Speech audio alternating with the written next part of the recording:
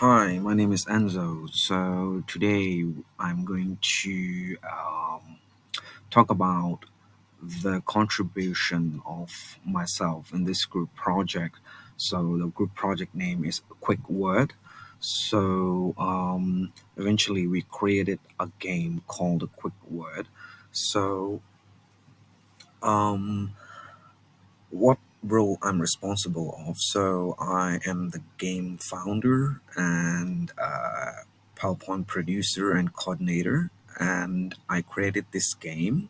So I would like to briefly give you a background um, history that what came in my mind and why I created this game, the prototype among the group members and agreements. So let me first show you that okay I'm the founder so I created this game.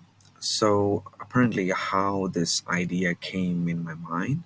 So um before a couple of years uh, for the past four years I have been uh, teaching in a school.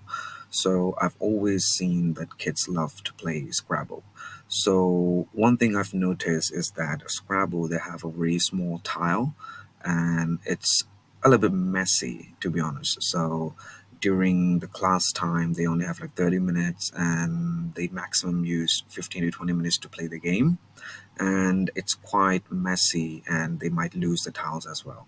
And the board seems to be big and occupy a lot of space so i wanted to create a game which would actually be educational and also beneficial for the students as well. And the, my, my main uh, target audience was to target the school like primary levels. So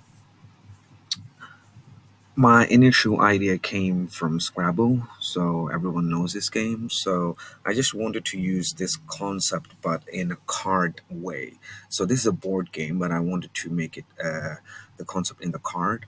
So what uh, I have eventually uh, did some research about that. Is there any card games that is involved uh, words and stuff? But seems there's not much available so I wanted to create this and I had this idea from there.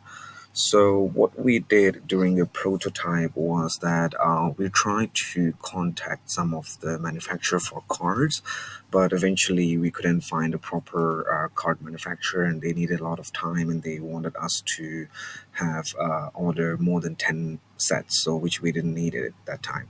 So what we did is um, I had some vocabularies uh, ready in my computer, so I printed out in a yellow background to make it more visible with black wordings. So instead of just the paper cutout, uh, I did a lamination as well, along with my group members.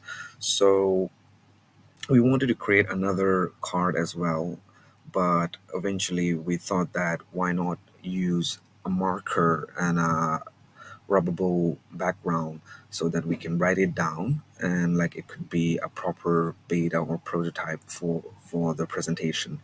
So now here you can see is that we have the alphabet in yellow background laminated and the vocabulary is written on a white background board.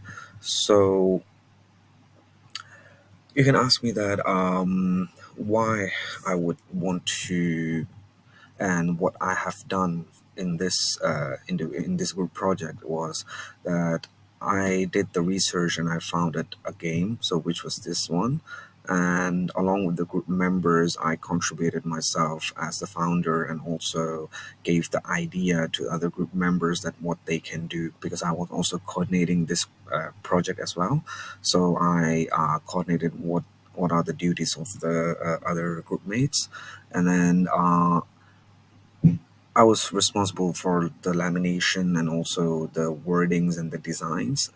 And beside from that, uh, the many, so I created the PowerPoint which I gave the pres uh, which we gave the presentation uh, last time. So I created I created the PowerPoint and the uh, presentation. Most of it I covered it up, and other students were responsible for. Um, making sure they source the source the materials like for example the red background papers and also the whiteboard and the markers. And the other students were also uh, contributing with the PowerPoint as well, with, with a couple of uh, a couple of slides. And one more student uh, who is also responsible of talking to the manufacturers for creating the card, printing the card. So that's what we actually did, and this is my role in this project. So these were what I was involved in, and I was the uh, founder and the creator, and um, I came up with the idea of taking some bits and parts from Scrabble. So that's all. Thank you for listening.